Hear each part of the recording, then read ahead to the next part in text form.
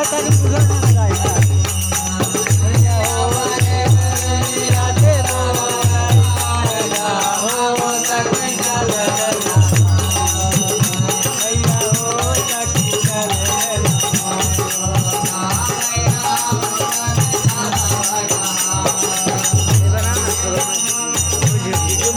मेरे चमड़े बना तो सब फोटो लेना